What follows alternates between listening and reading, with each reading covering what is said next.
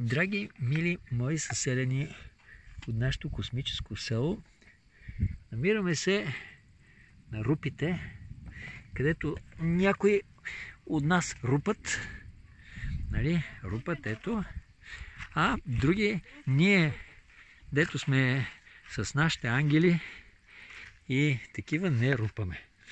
Ето, вижте как става рупането на рупите. И ако чуете хруп, хруп, хруп, да знаете, че сте на рупите. Ето. Чувате хруп, хруп, хруп. Така. Какво искам да ви покажа? Това са наши брати от черното братство, от братството на мравките, а не от братството на кемперите. Кемперистите, тук преди малко имаше два кемпера и една каравана, сега останахме само ние.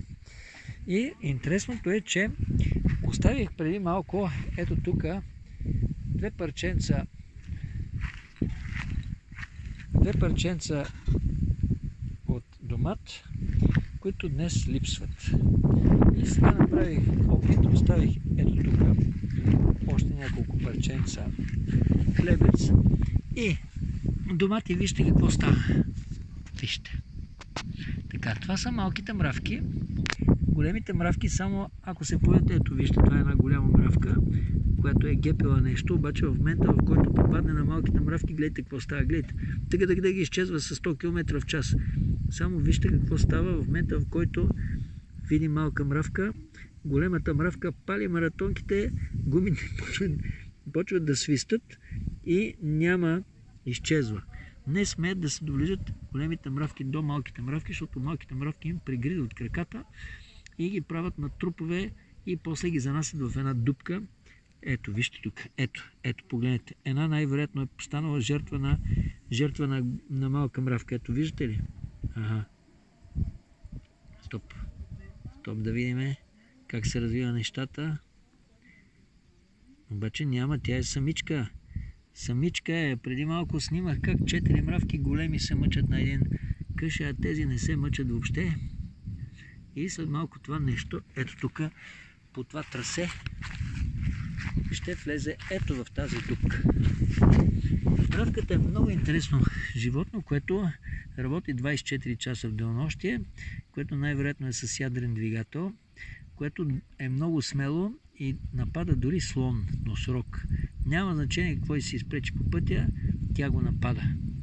Ако в момента кажете на мравката, че аз се снимам и говоря за нея, тя ще падне по гръб и ще почне да маха с крака и да се смее, така както ние бихме се смели в момента, в който някой почне да приказва за Бог, за Господ, за някой, който е нашия Създател и който ни инспектира по подобен начин, ни наблюдава отгоре и с неговите ангели, дяволи и разни тук ни направлява. А, ето вижте, гледайте какво става.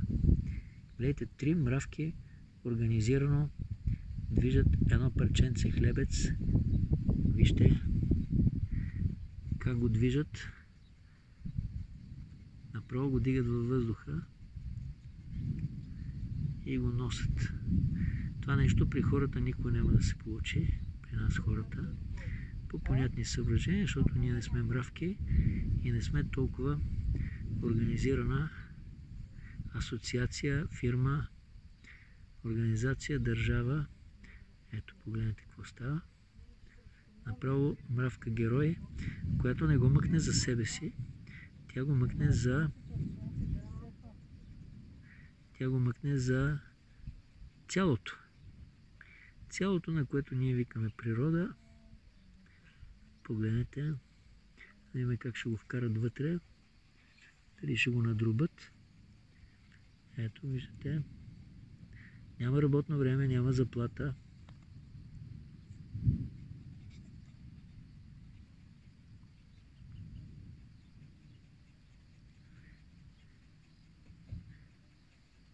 Ето, включват се други.